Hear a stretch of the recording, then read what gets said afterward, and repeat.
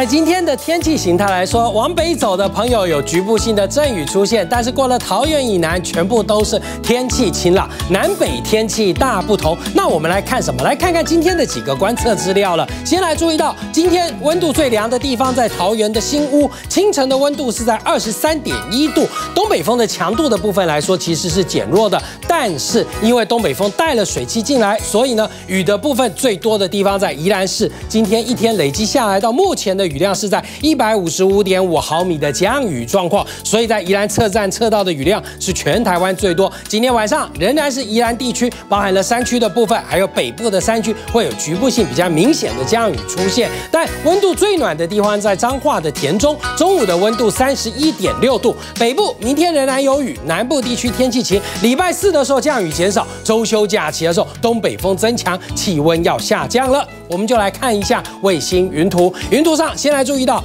北方的高压系统已经逐渐东移，冷空气的强度减弱，但东北风带了水汽进来。最主要水汽的来源就在南海的十六号台风，它的水汽拉上来，刚好被东北风给带了进来。所以呢，在北部地区的台北的东边部分、东北角地区、宜兰、基隆都有一些比较明显的阵雨状况出现。晚上的雨比较多，白天的降雨状况是山区有。今天晚上仍然有水汽会进来，还是有局部。性比较明显的雨势会在宜兰到东北角地区出现，而十六号台风已经进入到南海了，明天就会往越南的方向移动。那对我们来说呢？明天下午以后上来的水汽量就减少了，接着到了礼拜四的时候，天气开始好转。礼拜五的时候，天气状况到晚上的时候，北方的高压东北季风将要再度的增强。但是到了这个周休假期，东北风再加上南边低压通过了菲律宾，又拉水汽上来，所以这个周休假期的降雨又会再度。增多一些，主要还是以北部。小丁宁两件事情要提醒：第一个，往北走记得要备雨具，雨区行车要注意；还有往南走，阳光强，